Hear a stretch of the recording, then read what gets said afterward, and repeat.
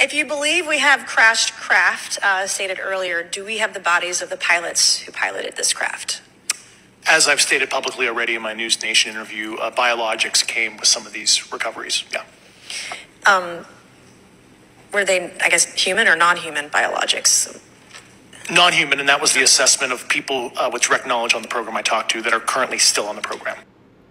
Wait, I'm sorry. Did I just hear that correctly? Yeah, this former senior military intelligence officer testified under oath in front of a House committee today that not only has the U.S. government recovered extraterrestrial crafts, but he says the government has also collected biologics from the extraterrestrial beings who were allegedly piloting those crafts. Now, the Pentagon has actually denied this man's claims in the past, but those were just some of the many details that came out of today's subcommittee hearing on unidentified anomalous phenomena. You probably know it as UFOs. The bipartisan group of House members held a hearing because they believe they're being kept in the dark when it comes to UAPs, the government's investigations and research into them, and yes, even the alleged practice of recovery and reverse engineering those UAP materials collected. But the intelligence officer wasn't the only witness to testify. Two other witnesses, both retired Navy pilots, each described their own personal encounters with UAPs in the sky. During a training mission in Warning Area Whiskey 72, 10 miles off the coast of Virginia Beach, two F 18 Super Hornets were split by a UAP. The object, described as a dark gray or a black cube inside of a clear sphere, came within 50 feet of the lead aircraft and was estimated to be 5 to 15 feet in diameter.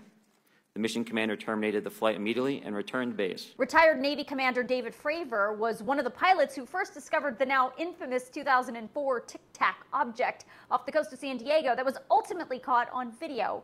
He says the incident was never fully investigated. All four of us, because we were in F 18Fs, so we had pilots and Wizzo in the back seat, looked down a small, saw a white tic tac object with a longitudinal axis pointing north south and moving very abruptly over the water like a ping pong ball. There were no rotors, no rotor wash, or any sign of visible control surfaces like wings. And the object, ob- object suddenly shifted its longitudinal axis, aligned it with my aircraft, and began to climb. Our altitude at this point was about 15,000 feet, and the tic tac was about 12,000. As we pulled nose onto the object, within about a half mile of it, it rapidly accelerated in front of us and disappeared. Now, the topic of UAPs has crept more and more into the mainstream in recent years. The Pentagon just recently released a report that said it has investigated about 800 UAP reports since May.